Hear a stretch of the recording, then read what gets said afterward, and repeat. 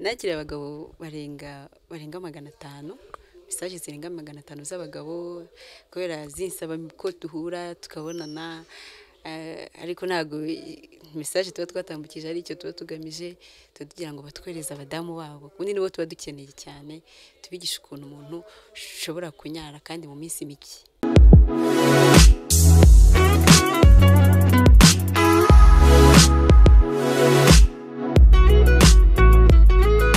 Mwongeye kwirirwa nshuti bakoze mu mavu TV online. Nizere ko mukomeje kugira ibihe byiza cyane kuri mwese mukomeje gukurikirana ibiganiro byacu tubagezaho. Umunsi ku wundi Ah, dukomeza kubararikira gukora subscribe kuri YouTube channel yacu kuri mwebwe mwese mutarayikora ariko mukaba mukunda ibiganiro byacu ah, iyo mubikoze icyo bibafasha ni uko iyo dushyizeho ikiganiro muba aba mbere mu kukibona. Ah, nta bundi buryo rero ubikoramo usibye kujya kuri YouTube channel yacu cyangwa se ukajya kuri YouTube ukandikamo ijambo umubavu TV online. Niyo washyiramo umubavu TV bihita bigaragara. Ah, hanyuma ugakanda ku, ijambo ryandikishije ibara ry'umutuku ryitwa By- rihita rihindura ibara iyo rimaze guhindura ibara bahita baguhereza n'ahandi hantu hari inzogera naho ugakirikaho. Eh, bityo ukabasha guhita ubona ibiganiro byose tugenda dushyiraho umunsi ku wundi. Eh, iyo dushyizeho ikiganiro wowe uhita ubona notification ikwereka ko hari ikiganiro dushyize kuri YouTube channel yacu. Eh, uyu munsi rero turi kugenda dusura abantu bagiye batandukanye ndetse n'abo mwagiye mukunda biciye kuri YouTube channel yacu. Ah, aho uyu munsi turi kumwe eh, n'umwari ari buze kubibwira ni umumama arababwira amazina ye ndetse eh, n'ibyo akora. Reka dutangire tumwakire. eh, atwibwire. Eh, murakoze. Nitwa Uwamahoro Jacqueline. Nkaba nkorera kampani yitwa El Capitaine hano mu Rwanda. Eri kapiteni mukora ibiki ubusanzwe? El Capitaine ni kampani icuruza imiti y'ibimera byo muri Egypt. Eh, ikoze yose aba ari amavuta. Harimo ayo kunywa ayo kwisiga ariko agiye afite ikintu runaka avura. Duherukana muri egisipo egisipo yarangiye ite? Expo yarangiye neza cyane kandi. Eh, hari komenti z'abantu twagiye twakira batubwira bati nimuturangire uriya mu- umukobwa benshi nta nubwo bari bazi kuri n'umumama bati nimumuturangire eh, tu- tumuganirize. We izo mesaje ntazo wakiriye? Eh, narazakiriye nyinshi cyane. Eh, nakiriye mesaje z'abantu benshi benshi. Bakunze imiti ducuruza eh, ku bijyanye hari imiti ducuruza ku bijyanye ifasha abantu mu mibonano. Eh, nakiriye abantu benshi abagabo benshi abamama benshi abakobwa benshi eh, narabakiriye Ah, tubwire nk'abagabo abagabo ba- ba- wakiriye cyangwa na mesaje baguhaye zabaga ari izihe? Nakiriye abagabo barenga barenga magana atanu. Mesaje zirenga magana atanu z'abagabo kubera zinsaba ko duhura tukabonana eh, ariko ntabwo mesaje tuba twatambukije ari icyo tuba tugamije tuba tugira ngo batwohereze abadamu babo. Ubundi nibo tuba dukeneye cyane tubigisha ukuntu umuntu ushobora kunyara kandi mu minsi mike. Yego. Rero turasaba n'aka kanya turasaba abagabo tubashishikariza ntabwo okay kutwandikira ni byiza ariko turifuza ko batwohereza cyane abagore babo. Ura- urasa nk'ikintu duhishe iyo bakwandikiye ba- baba bakwandikira ngo bigende bite bashaka kumenya ko nyara. Yego. Ba- mu buhe buryo se? Kandi nawe urabyumva? Ntabwo wabimenya tutabonanye. Eh, njye rero ndubatse ndi umumama.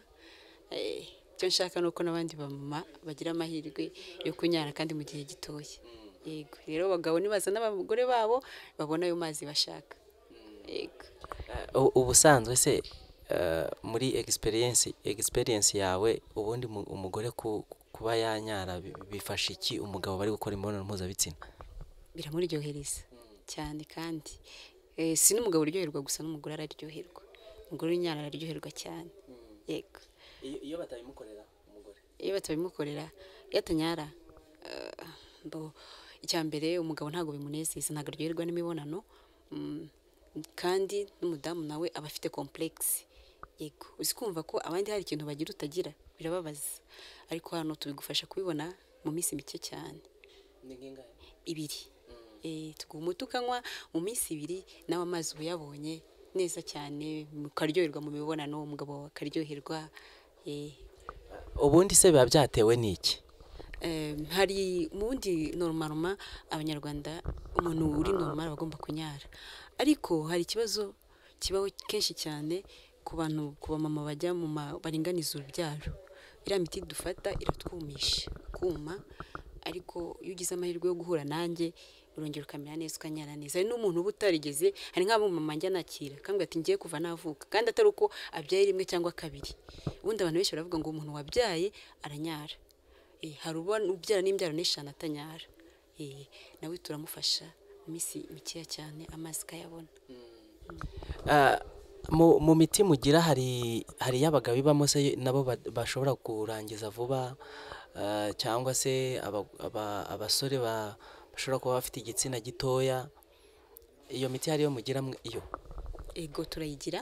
Dufite imiti ifasha abagabo bafite ikibazo cyo kurangiza vuba yanarangiza agahita ananirwa.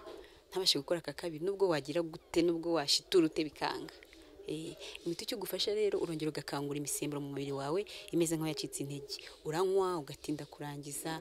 Okay ntabwo utinda kurangiza ngo bikabye hari ukuntu utinda byo gukabye ariko nabwo ntabwo utungaho ngo ako kanya uhita urangiza Eh, uratindaho mbo kandi warangiza ugakora n'aka kabiri n'aka gatatu umva ugifite imbaraga. Eh, hari n'abasore baba bafite ibibazo byo kwikinisha n'iki? Eh, bariya nabo bagira ikibazo cyo kurangiza vuba. Nabo dufite imiti ibafasha bigakira burundu. Bakarangiza batinze kandi bakaryoherwa pe. Yego. Aba- abakobwa se bo utubwiye ko nabo hari abo wakiriye? Bo baba bafite ibihe bibazo ko bakagombye kuba baba batanabizi ibibazo bafite? Eh, hari ukuntu nta okay muri iki kinyejana turimo nta nta ndibaza abakobwa bada- badakora imibonano ari bake. Eh, hari ukuntu uhura n'umuhungu w'inshuti yawe ukabona mugenzi wawe icyo yakubwiye afite we ntugifite. Eh, uhita ushaka uburyo ki nawe wamera nk'abandi. Kandi nawe kuko birababaje. Unutegura ahazaza hawe urugo burya ubwo buzima bw'umuntu urugo rwiza. Eh, rero kiriya kintu cyubaka urugo rw'umuntu ijana ku ijana. Eh, umukobwa wese uzi ko afite ikibazo cyo kutagira amazi. Eh, hano tuyamuha mu gihe gito gishoboka. Ndibaza abo twakiriye byarakemutse bameze neza ubu ngubu. Hari abavuga ko guca imyeyo hari ikindi kintu byongera. Hari abafite ibyo bibazo byose murabafasha? Eh, guca imyeyo hari iki- ikintu byongera ariko n'utayifite. Afite uburyo tumu- tumufashamo akagira amazi bitabaye ngombwa ko agira imyeyo. Kandi nawe araryoshya imibonano pe ntabwo ari ukubeshya. Araryoshya imibonano umukobwa utaraciye imyeyo iyo afite amazi bigenda neza. Ubundi mukorera hehe? Eh, dukorera mbere twakoreraga i Nyamirambo ariko twarimutse ubu ngubu twaje muri shike uri- ukizamuka ukiva muri gare wambuka umuhanda hagati ya resitora y'abanyaturukiya ni- na MTN hari umuryango winjira muri shike winjiriramo aho ngaho ukazamuka esikariye iyo uzirangije esikariye uhita utugeraho yego. Ese tugarutse ku bagabo bagiye bakwandikira? Eh, bavuga bati turashaka gutesitinga kuri wowe ubwo nta- nta- ntabwo byigeze bigera ku mugabo wawe? Cyangwa rero nka telefone areba abantu bakwandikira? Umugabo wanjye Kameme ntabwo yaba adakora kuri telefone yanjye arabibona ariko eh, ni bizinesi ntabwo ibyo bindi ntabwo nyuma ya bizinesi ibyo bindi ntabyo. Barakwandikira benshi bakabikubwira cyane akanaza gutya aje kugura umuti akabikubwira vizavi akakubwira ati ndawutwaye ariko ndashaka gukora tesiti Eh, uramubwira ukamubwira uburyo awukoresha kandi iyo abigenje neza kuwukoresha iyo ageze mu rugo abikora kwa kundi amazi akatinda kurangiza imbaraga zikaza. Ah, mbo no mama benshi arakubwira ati si uko ibi bintu nimutwara ntibikunde amafaranga yanjye ibintu nk'ibyo. Ariko iyo ageze mu rugo nyuma y'iminsi ibiri aguhamagara akubwira ngo "S- bimeze neza benshi baranshimira inkoko ndazirya zingo nubatse. Ego. Ese isa nk'utubwira nk'ubuhamya wagiye wakira bw'abamama bakubwiraga bati twebwe rwose twarabyaye tubyaye kabiri gatatu. Ariko ibintu bavuga tubyumva nk'inzozi. Agahinda baba bafite kaba kameze gate nk'umuntu ubakira. Eh, nakiriye abamama maze kwakira abamama benshi bafite icyo kibazo baricara bakanganiriza kameme hari n'ubanza ku- kuba kugira complex akavuga ati ndabona uri umwana ese koko urubatse? Mwana ndubatse rwose ndi umumama kandi ndakuze. Akambwira akaba pe akambwira akambwira ati ngewe rero mbyaye gatatu mbyaye kane ariko amazi bavuga abandi bagore bagira ntayo ngira. Gerageza umbwire ikintu nakora kugira ngo nanjye mbe nk'abandi bagore. Ndamuganiriza mbo nkamubwira nyine akagufata umuti akawunywa nkamubwira ubundi ibintu byinshi iyo umugabo abigiyemo neza bigenda neza. Mbwira, we umuti ubundi umugabo abigiyemo neza. Hari n'uwo nasabye ko amuza n'umugabo we. Ndamubwira wowe uzamuze n'umugabo wawe nta kibazo. Nyuma yo kunywa umuti uzamuze nawe Bi- bigenda neza. Ngenda mbona feedback amakuru angaruka ambwira ko ibintu bimeze neza. Yego. Ubwo se aba afite icyo kibazo umugore akaba ashobora kuba nyara ariko umugabo akaba atazi kugera ku- ku- kuri ayo mavangingo ngo ayamukuremo. Abo bo ubabwirwa n'iki ikintu nkora hari nk'abo mpura n'abagabo babo nk'ubu uri umugabo ukambwira ati umugore wanjye ntanyara ndakubaza ese koko uzi kunyaza? Hari kuba uvuga ngo umugore wawe ntanyara kandi ahubwo wowe ari uko utazi kubikora. Akambwira ahubwo ntise ubigenza ute akambwira uko abigenza. Iyo numvishe koko ko ibyo bintu yabikoze bikanga ndambwira twarira umugore umuti. Iyo numvishe atarabikoze ndamwira nawe ugenda ubikore gutya. Nyuma yo kubikora gutya n'ibyanga uzaze ngo uwo umuti cyangwa nibikunda uzambwira kandi bitenda neza. Eh, noneho re- tubwire. Umugabo uri kureba iyi videwo ariko akaba ata- atazi kunyaza. Yabikora ate? Ikintu cya mbere ubanza gukora ugiye gukora imibonano n'umudamu wawe urabanza ukamutegura. Burya ibintu byose biva mu mutwe. Urabanza ukamutegura bye umugore nta siterese umugore yariye ameze neza uramutegura neza.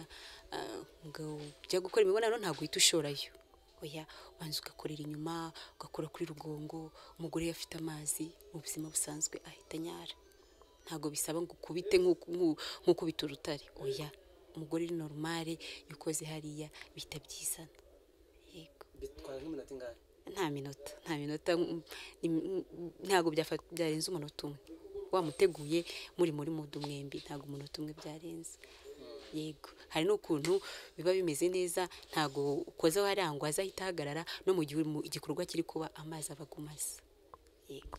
Eh, hari abo twigeze kuganira mu gihe cyashize eh, b'abasore bavuga bati twebwe hari ukuntu tujya twigenda tukajya hanze kugura ku kiro. Niko babyita. Ati ariko ugasanga ati nk'indaya irakunyariye inkari zisanzwe. Biriya bintu bitandukanye ute? N'inkari Eh, biratandukanye cyane cyane. Inkari zisanzwe aho zinyura ntabwo ariho amazi anyura. Yego harimo diferanse kandi ikindi inkari zisanzwe urumva ko n'abodesha bahita babimenya ko babanyariye inkari zisanzwe. Ariya ma- ariya mazi umugore anyara ntaganuka. Ni amazi meza ni amazi ahumura afite akandi kawoderi keza cyane. Abagabo barayakunda. Ni na yo mpamvu wumva bamwe bajya kuyashaka hanze. Barayakunda cyane. Hari ngo n'abayanywa Eh, hari n'abayanywa nta kintu nta kintu nta kibazo ki- nta kintu atera amazi simbizi nawe uri umugabo cyangwa se uri umusore ufite ukuntu ubiziho ariko ndi umumama ndabizi neza ko ari amazi ari sawa. Nta kibazo. Eh, ngaho noneho tusa nk'abagera ku musozo w'ikiganiro tugiranye. Eh, gira inama abamama n'abapapa bashaka ko ingo zabo zikomera kandi zigakomera zitajegajega ahantu hose. Unatubwire ngo ibi bintu iyo bikozwe neza abantu baba bashobora kwiteza imbere bakaba bagera ku rwego rumwe bakagera ku rundi bitewe n'uko bigenda neza mu buriri. Yego. Eh, inama nagira abamama n'abapapa bafite icyo kibazo eh, icya mbere ni ukubanza muga- muga- mugasa naho mutegurana mu mibonano iyo byanze uraza tukagura icyo cyagenda nakubwiye kuza tukaguha umuti. Eh, ikindi imibonano yagenze neza mu rugo habamo umunezero. Nimba wanteguye nkabikora neza amazi kaboneka ukaryoherwa nanjye nkaryoherwa nta kintu umuntu atakubwira nta kintu umuntu atagukorera byose biba byagenze neza. Burya ikintu cyose mu rugo gipfira mu buriri. Hari iyo bimeze neza n'ahandi biba bimeze neza. Cyane rwose. Niyo mpamvu rero nagira abapapa n'abamama bafite icyo kibazo kutugana. Tuka- tukabafasha kubaka ingo zabo. Yego. Murakoze cyane. Murakoze.